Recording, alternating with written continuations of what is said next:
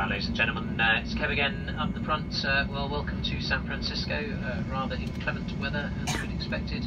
Um, we've been uh, allocated uh, an unusual stand